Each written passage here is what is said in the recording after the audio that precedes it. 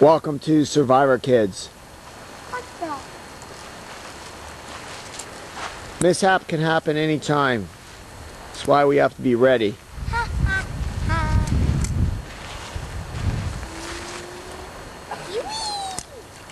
You will learn how these two Survivor Kids start a fire, build a shelter, and single. Oh, come on! Where did my base go? I have a half worm.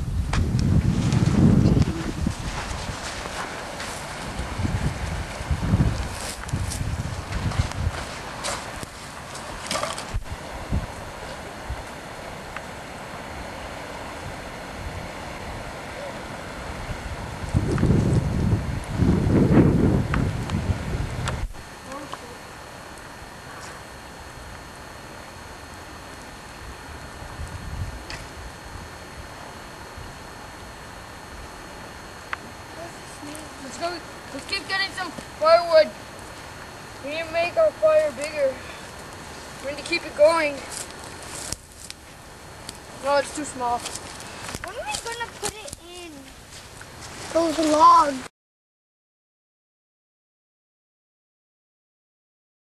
It's a bottle.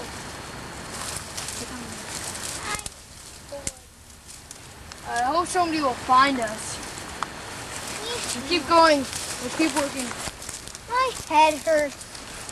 I see. George, keep this going. Put in some logs.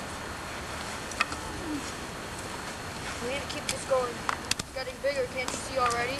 Here, keep this flame going. Move them Oh, in. come on. George, move them in together. Ah! Here, you keep getting firewood. I'll, I'll get them in. How about this big thing? No, too big. Okay. Gotcha.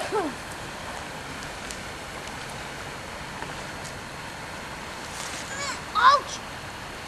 George, keep. Try and keep it going. We need smoke so they can see us. Hopefully, we won't have to sleep here tonight. Yeah! Gosh, collect all this grass. It makes good smoke. This is good. They can see the smoke, hopefully. Ah! Here. Keep getting wood, Josh. Keep getting wood. Keep getting wood. Woo! Wait.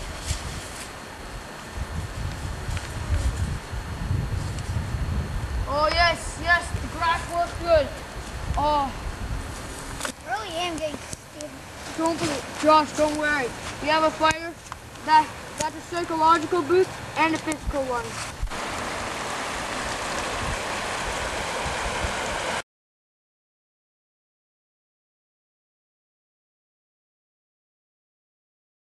I'm glad we had all this emergency equipment. We could die out here. I'm hungry and thirsty too. So am I, but we're, you're gonna have to wait. We have to survive out here. I'm glad we brought the snacks. Look, the beaver. Isn't that in the water? Yeah. Let's take. Let's share one now.